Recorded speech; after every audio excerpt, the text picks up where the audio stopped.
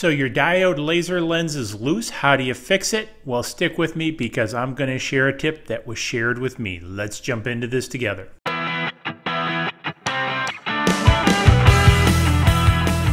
Welcome to this episode of DIY3DTech.com. This episode, I want to do a quick video to share this tip with you. I got this from a viewer who got it from someone else. And again, I'm just passing this along because I think this is a rather neat tip.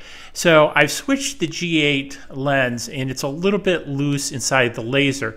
And the stock lens has this O-ring on it uh, that kind of keeps it tight. Now, what I've been doing is putting a little bit of tape on this barrel to hold it snug.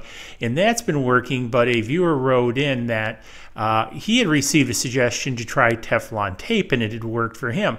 So I went ahead and I tried Teflon tape. I kind of liked the idea, so I just took some Teflon tape and uh, the width of the Teflon tape is about the width of the lens and I put it on the entire lens. Now this is going into the barrel of my air assist uh, unit so it fits in there snugly. What I've found with this one is about two wraps of the Teflon tape very tight right?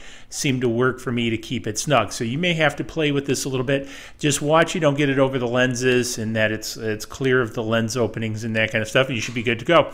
So uh, many thanks for sharing this tip with me and hopefully you guys found it interesting or do find it interesting and useful. If you do, give it a big thumbs up for the share. And again, this is all about the community. Swag Shop's up there. Subscribe over there and we'll catch you in the next video. And if you got some tips, share them in the comments. Again, it's all about the community. Cheers. Please click like below and subscribe to the channel